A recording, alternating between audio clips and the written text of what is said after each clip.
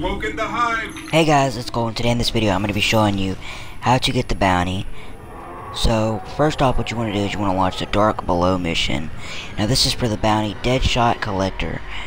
You have to get precision kills while under the effect of Black Wax Idol on Hive. I believe you have to do it on Hive. But anyways, what you want to do is you want to launch the mission The Dark Beyond on Moon.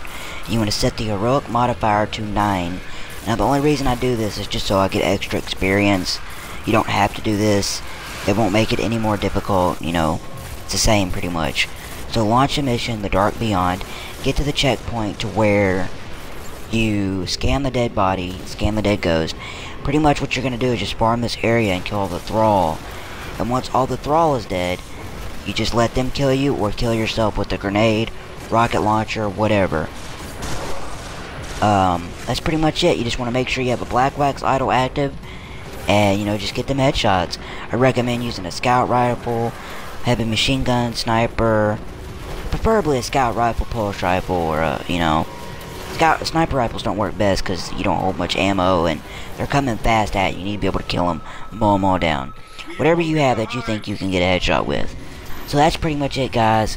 That's pretty much the summary of the video.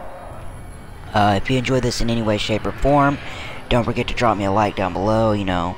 Tell me what you liked about this video in the comment section. As always, thanks for watching.